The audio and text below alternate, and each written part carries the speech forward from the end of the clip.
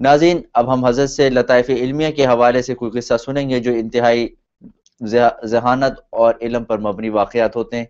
तो तवज्जो से आप लोग। इस हवाले से मुझे याद आया दारुल देवबंद के मुहदसर हज़रत अल्लामा सैयद मोहम्मद अनवर शाह कश्मीरी रहमत अल्लाह तबारक व ताली ने इल्म हदीस में उनको बहुत बुलंद मकाम अता कर रखा था। गोया कि इस ज़माने के हाफिज इबन हजर असलानी थे। और हज़ार साल में ऐसा मुहदस पैदा नहीं हुआ, जैसे अल्लामा अनवर शाह कश्मीरी रहमत थे। तो अजीब व गरीब कमालत उनको इल्मी एतबार से हासिल थे। और ज़ाहिर है कि तकवे का आलम भी उसी हिसाब से था कि इल्म मार्फत इस बुलंद मकाम की होगी। फिर नबी पासम की अहदीस तयबा के साथ ताल्लुक़। तो उनके तकवा और वरा का आलम भी बेनज़ीर। मेरे वालिद साहब रहमत कुतब वक्त हज़रत शेख़ुलदीस मौलाना मुफ्ती नियाज मोहम्मद खोतनी कुदस सिर्रू वो बुखारा से हिजरत करके सिर्फ़ उनकी शागिर्दी हासिल करने के लिए हिंदुस्तान पहुँचे थे। जब हिंदुस्तान पहुँचे हैं तो पता चला कि दो साल हुए, अलामा अनवर शाह कश्मीर रहमत का विशाल हो गया तो वाल साहब फरमाते तो मुझे बड़ा सदमा और दुख था कि मैंने जिनकी खातिर दो महीने का पैदल सफ़र किया काफलों के साथ, और मैं यहाँ पहुँचा, इनसे इल्म हदीस हासिल करूँ। क्योंकि अनवर शाह कश्मीर रहमत के एक शागिर्द थे बुखारा में, मौलाना सबूतुल्ला दामुल्ला तो मौलाना सबूतुल्ला अक्सर हवाले दिया करते थे अपने इसबाग पे अलामा अनवर शाह साहब के, कि मेरे उस्ताद अनवर शाह ने ये फरमाया, मेरे उस्ताद अनवर शाह कश्मीरी ने ये फरमाया। तो वालिद साहब फरमाते, मुझे उस वक्त से इश्तियाक हो गया था कि मैं उस्ताद के उस्ताद से ज़रूर पढ़ने हिंदुस्तान जाऊँगा। चुनाची हिजरत की, वहाँ पहुँचे तो पता चला विशाल हो गया तो बड़ा दुख हुआ। लेकिन ये कि वहाँ जो अकाबिर मौजूद थे, उन्होंने कहा कि उनके हम असर मौजूद हैं, या या इल्म हासिल करें। तो वाल साहब ने तकरीबन तेरह साल तेरह साल वहाँ रह के उलूम मारिफ हासिल किए। तो वाल साहब के उस्ताद थे मौलाना बदर आलम मेरठी रहमत तो तर्जमान अनवर अलामा नौशा कश्मीरी के बड़े ज़रूर कदर शागिर थे। उन्होंने हज़रत शाह साहब के जी अमाली जमा किए फैज़ुल बारी के नाम से, जो तकरीर बुखारी उनकी होती उन्होंने अरबी में फैज़ुल बारी के नाम से जमा किए। उन्होंने वो, वाल साहब, उस्ताद थे मौला बदर आलम। मौला बदर मेरी रमत ने वाल साहब को ये किस्सा सुनाया।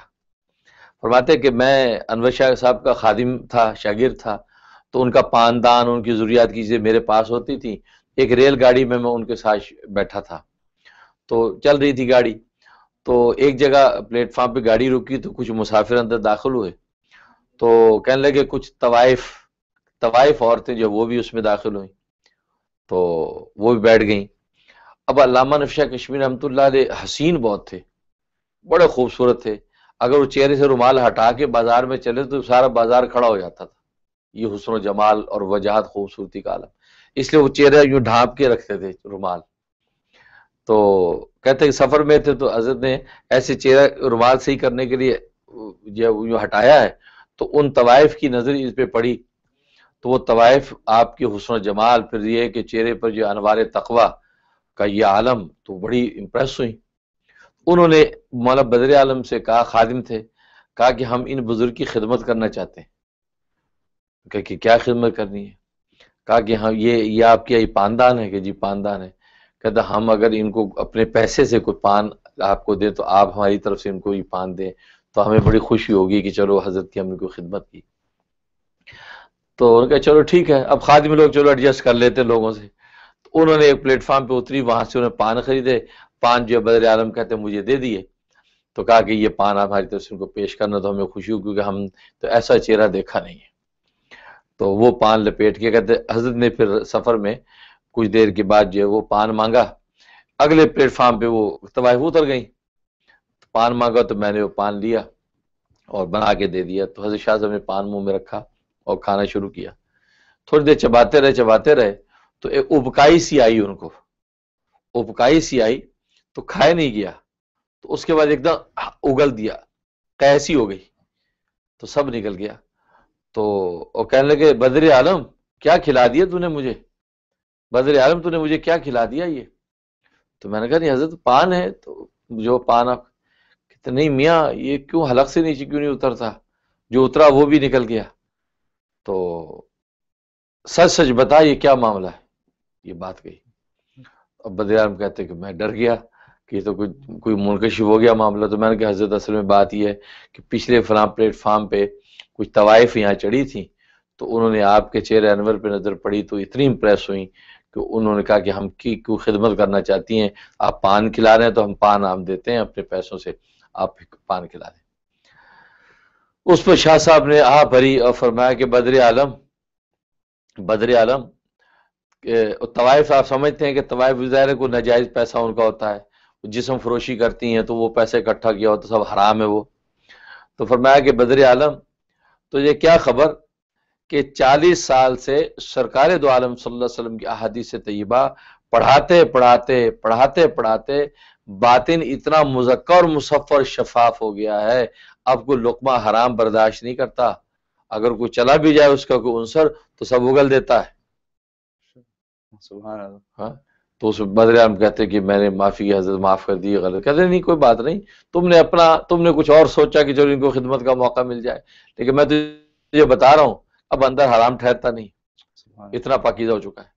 और वाकई शाह साहब को अल्लाह ताला ने ऐसे अनवार तकवा और कुत हाफजा ऐसा अता कर रखा था कि मिसर गए जब तो मिसर के जो है वो बड़े बड़े मुहदसिन मुफसरीन से मुलाकात हुई और वह एक किताब देखी।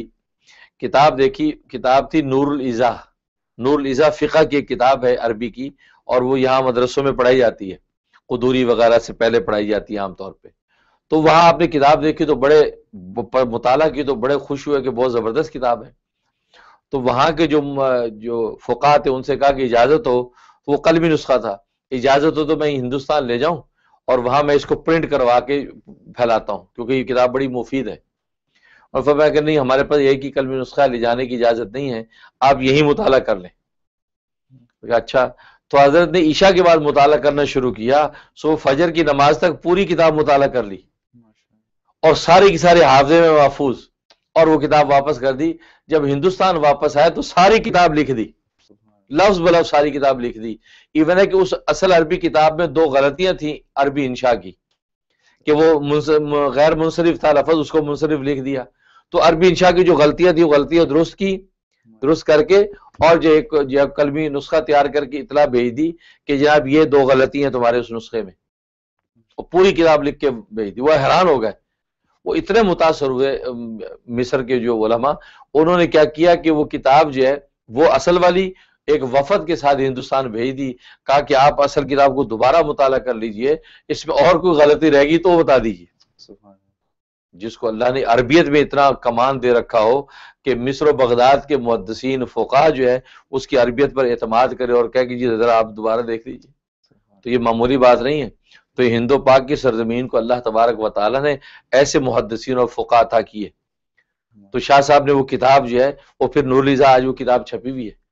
तो एक रात के मुताबिक सारी किताब। और एक मौके पे फरमाया कि अब तो ये आलम है कि एक सरसरी नज़र से, सरसरी नज़र से अगर मैं देखता हूँ किताब में तो फरमाया चालीस साल तक नहीं भूलती। तो वाली साहब रहमतुल्लाह बताते थे कि मौलाना बदर मेरशी रहमतुल्लाह ने मुझे सुनाया, कहा कि वो अजय शाह साहब जो रात को बैठ के मुताला करते थे बुखारी का, बुखारी शरीफ पढ़ाते थे। और वो उकड़ू बैठते थे, ये घुटने उठा के बैठते ना उकड़ू उकड़ू बैठे रहते थे और इधर स्टोव चलता था तो मैं स्टोव में से उनको जो है वो कावा भर के देता रहता और ग्रीन टी जिसको कहते हैं, वो आप पीते रहते वो किताब को देखते रहते थे। और अजीब बात बताई, कहा कि हज़रत शाह साहब पाँच सौ सफ़े और रोज़ाना बुखारी शरीफ के मुताला करते थे। पाँच सौ सफ़े। हालाँकि पढ़ाने दस सफ़े हैं सुबह को लेकिन पाँच सौ सफ़े रोज मुताला करने का। और कहते थे बदर आलम जिस जिस तरह मैं इसका मुताला करता रहता हूँ ज़्यादा से ज़्यादा गहराई में जाता हूँ तो मुझे मुझे अपनी जहालत का मजीद एहसास होता रहता है। कह रहे ये बात तो मुझे पता ही नहीं थी। लेकिन इस बात की हकीकत ये असल में कि बात हुई है कि जब सीढ़ी इंसान चढ़ता है तो जैसे अगली सीढ़ी पे कदम रखता तो पिछली सीढ़ी पस्त नज़र आती है। जब उससे ऊपर चढ़ता तो नीचे की सीढ़ी पस्त नज़र आती है। तो बात असल में कि अल्लाह तबारक वाली उस मुताले के नतीजे में नए नए उलूम के दरवाजे जब उन पर खोलते हैं तो उनको पहले वाले दरवाजे पस्त नज़र आते थे। इतने उलूम मारिफ का आलम था। तो ये अल्लाह मनफा कश्मीर रहमत जिनके उलूम मारिफ हिंदो पाक नहीं, पूरी दुनिया के अंदर फैले। अल्लाह से दुआ है कि अल्लाह तबारक वाली हमें भी उनके शमा इल्म से एक हिस्सा अता फरमाए। तो नाजीन इंतहाई दिलचस्प किस्सा हज़र शाह साहब का। अब हम कॉल्स का